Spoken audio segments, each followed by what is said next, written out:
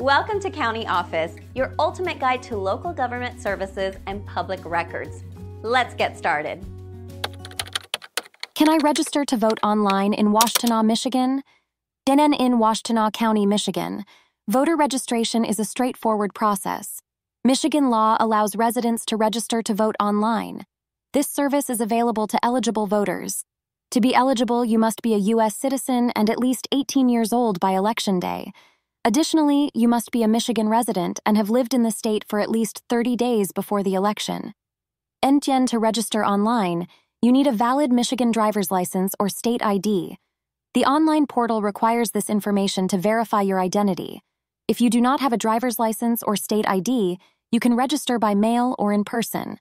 The online registration process is accessible through the Michigan Secretary of State's website. Then once on the website, follow the instructions to complete your registration.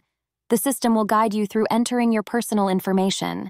Ensure all details are accurate to avoid any issues. After submitting your application, you will receive a confirmation. This confirmation ensures your registration has been processed. Then, if you prefer, you can also register at your local clerk's office.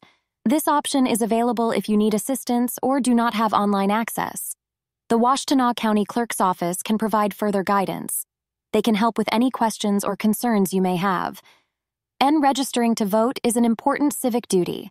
Make sure to complete your registration well before the election. This ensures you are eligible to vote and have your voice heard.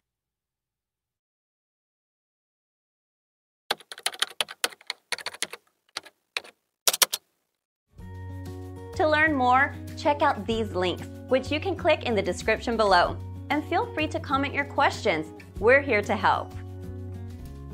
Thanks for tuning in to our video. Please like and subscribe and leave a comment below. See you in the next video.